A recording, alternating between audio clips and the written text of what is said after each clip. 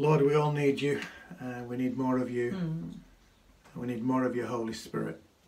And we just pray you'd keep filling us and blessing us, and empowering us to be the men and women of God that you created us to be, that you destined us to be, even before the creation of the world. Well, that's the end of our service uh, this morning. We'd love to join you afterwards at uh, quarter to 12 for coffee. Uh, we're having a great time with our Zoom coffee, and people are loving it, and they're loving going into the small groups after and meeting people uh, that perhaps they've never chatted to before in church. Uh, I'm looking forward to being in the same group as Margaret so we can talk. That'd be good, wouldn't it? I'd like to make a change. What do you mean and make a change? uh, so we look forward to seeing you at, at quarter to 12. Uh, until then, and until next Sunday, the Lord bless you and keep you. And before the cool of the day on Thursday, the Lord bless you and keep you. Lord make his face shine upon you. The Lord be gracious unto you.